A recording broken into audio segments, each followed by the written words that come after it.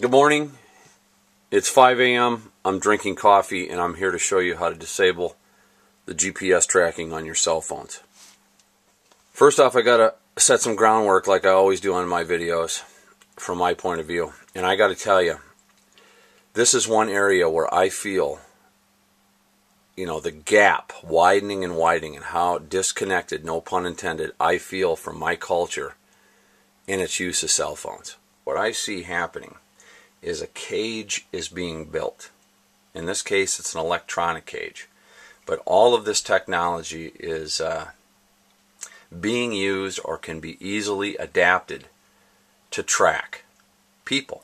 That's what I think it's all about. I, I don't care, you know, right now they're talking about how stores are tracking people and their buying habits and they're tracking people online. Google's famous for this. Phones, you can track every single person on the face of the planet. And I really think what's behind the government is the want to be God. They want to know where everybody is all the time and what they're doing.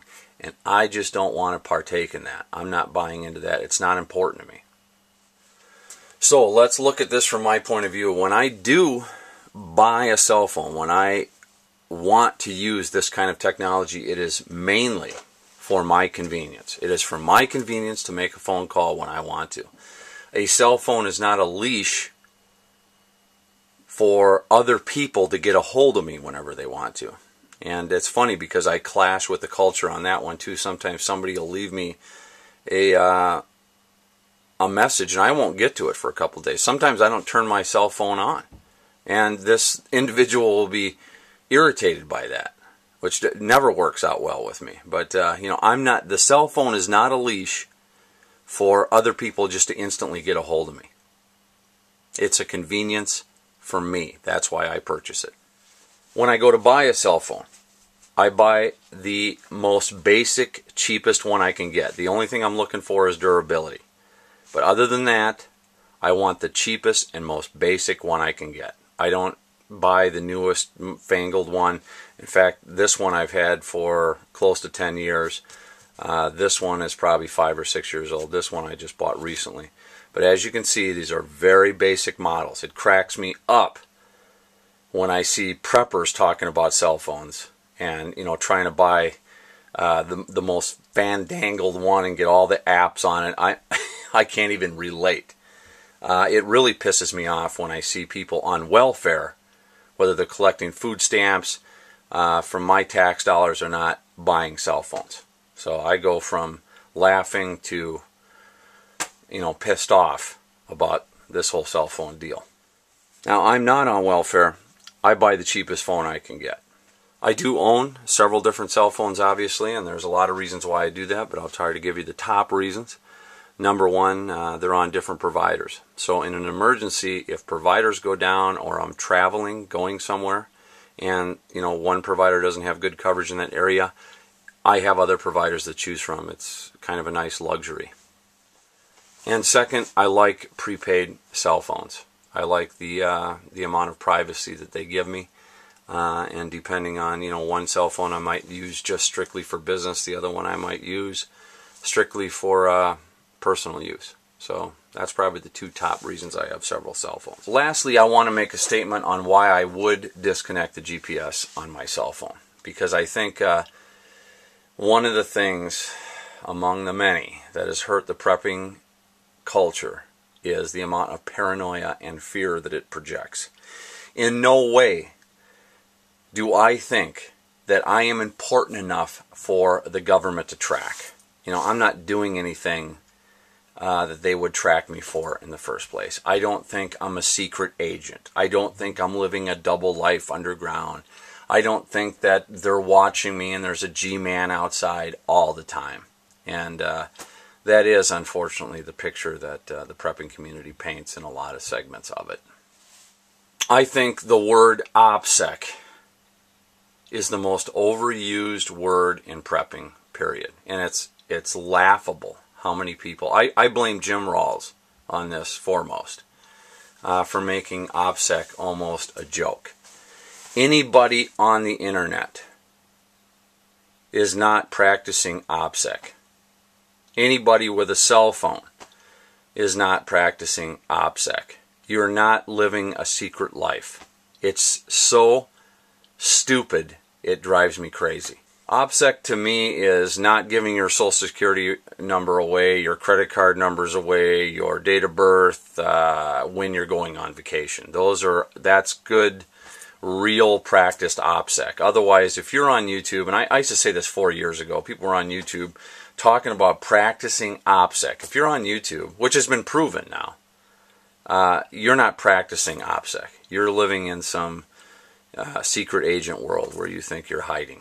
You know, the government knows. You know, they've they've it's all been blown now. They've been listening to your phone calls if they want to. They've been watching your emails if they want to. Uh, they've got programs that can even activate the phones um, that you're carrying, the cameras on them, the microphones on your computers, everything. Okay, guys, you're not practicing the secret agent OPSEC by being online listening to this right now. Bottom line is, I don't think I'm that important. Anyway, even if they do bother to listen, I'm not that important. However, from my point of view, from my both faith based Christian point of view and the way that I th- see things happening, I see an electronic cage being built. And right now, this may seem totally innocent, but the day may come when they may slam the gate on that cage.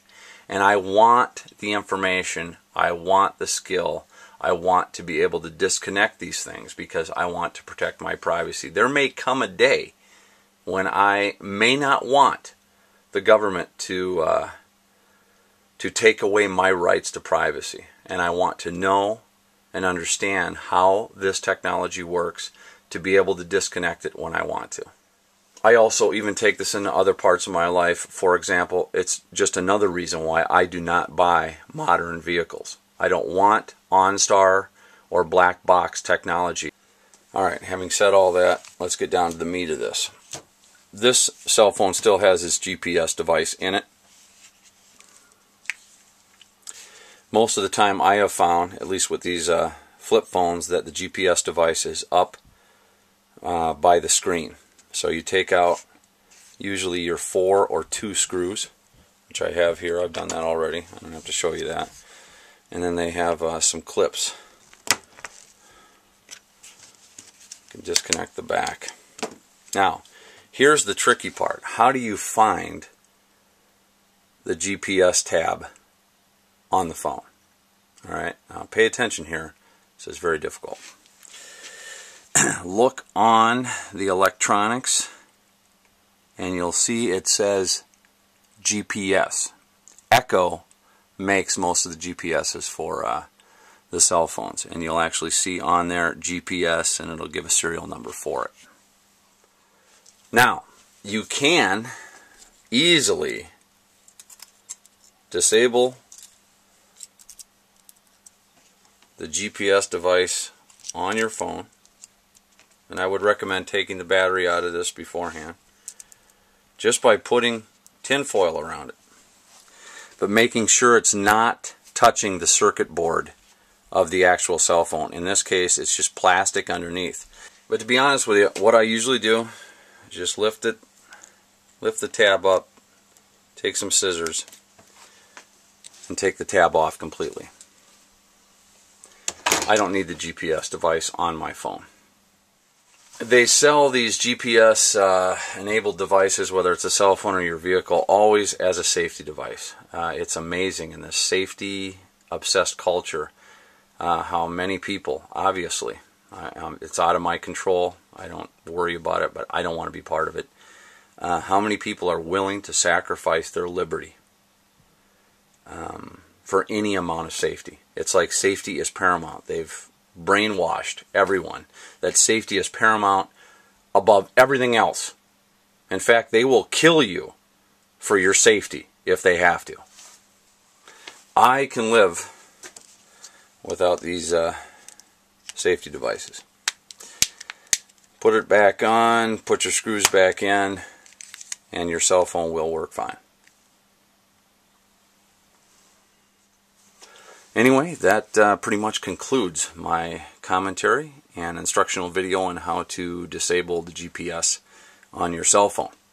Uh, every one that I've ever opened up has a clearly marked tab on there and you can disable it by either wrapping it in tinfoil as a temporary measure or you can cut the damn thing off like I did and get it over with. But, uh, you know, I don't think I have anything to worry about right now, but there may come a day when this information uh, could be useful and I just want to keep up on it. So I'm sharing with you as well. See you later.